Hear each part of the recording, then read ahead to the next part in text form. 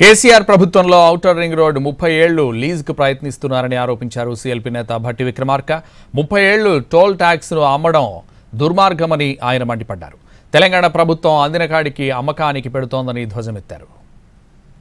వాళ్ళకి ఇచ్చిన అసైన్ చేసిన భూములు కూడా అమ్మకానికి పెడతా ఉన్నారు. మార్గం ఆదిలాబాద్ నుంచి నేను ఇక్కడి వరకు వచ్చినటువంటి మార్గ మధ్యంలో అనేక జిల్లాల్లో ఆనాటి కాంగ్రెస్ ప్రభుత్వాలు పేదలకు పంపిణీ చేసిన అసైన్మెంట్ భూములు కూడా వెనక్కి తీసుకుని ప్రజలకు పేదవాళ్ళకి చెందకుండా చేస్తా ఉన్నారు. బహుశా స్వతంత్ర భారత చరిత్రలో ఇంతవరకు ఏ రాష్ట్రంలో కూడా చూడండి ఇంకా మళ్ళీ పైకి కేటీఆర్ గారు ఒక మాట మాట్లాడాడు వాళ్ళు నేను వారిని సూటిగా అడుగుతా ఉన్నాను డెబ్బై సంవత్సరాలుగా ఈ కాంగ్రెస్ ప్రభుత్వాలు ఏం చేయలేదట ప్రభుత్వాలు.